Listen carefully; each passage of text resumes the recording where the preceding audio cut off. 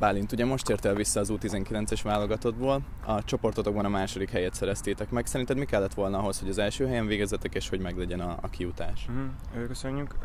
Úgy gondolom, hogy az első meccsen ott is mi voltunk a jobbak. Az első fél évben ugyan ránk jöttek a csehek, mindjárt az elején kaptunk két gyors volt, de úgy gondolom, hogy megérdemeltük volna ott is a győzelmet, vagy legalább a döntetlent, mivel kihagytunk egy 11-est, és a végén még volt egy nagy lehetőségünk.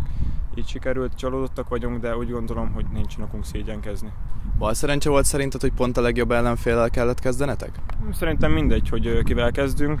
Ö, nem tudom, igazából tök mindegy, hogy a skótokkal kezdtünk volna, vagy, a, vagy az osztrákokkal, meg kellett volna nyerni az első meccset is.